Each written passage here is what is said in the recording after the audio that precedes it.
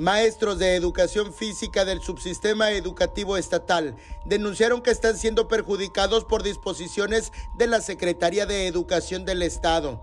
Por su cuenta, la dependencia que encabeza Rosaide Domínguez Ochoa vitorió que los ha atendido en conjunto con la Secretaría General de Gobierno, pero ellos tienen otros datos no nos siguen dando respuesta, no nos siguen dando la cara y prácticamente fue como para nosotros una falta de respeto el habernos hecho venir. A los docentes les quieren asignar más de un centro de trabajo para cubrir las horas que les fueron dadas. Principalmente estamos aquí reunidos los maestros del subsistema estatal del estado de Chiapas, eh, atendiendo la problemática de la descompactación en horas de educación física. Este problema está eh, siendo atendido por el COSICAM.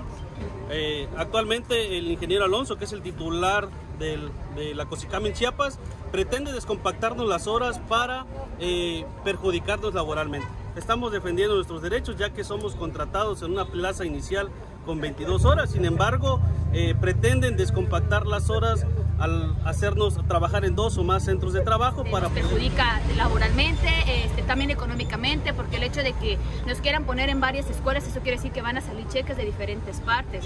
Este, al final de cuentas tenemos que ir a donde están los cheques, eso ocasiona más gastos, ocasiona el hecho de que tengo que gastar más tiempo de que el gobierno me está pagando, el hecho de que tengo que abandonar a mi familia, el hecho que si también yo he tenido otro trabajo ahora en la tarde voy a tener que renunciar porque ahora tengo que para cubrir mis 22 horas o querer seguir teniendo ese beneficio, tengo que estar en otras escuelas. Los afectados responsabilizan a Alonso Augusto Ramos Balboa, coordinador del sistema para la carrera de las maestras y maestros en Chiapas, COSICAM. Señalaron que Alonso Augusto es ingeniero de profesión y desconoce de temas magisteriales y educativos. Tal parece que el titular de la COSICAM en Chiapas tiene más poder que el gobierno del estado y que la Secretaría de Educación Pública, porque es capaz de no presentarse a una audiencia donde lo están convocando. Entonces, ¿de qué se trata? Eric Ordóñez, Alerta Chiapas.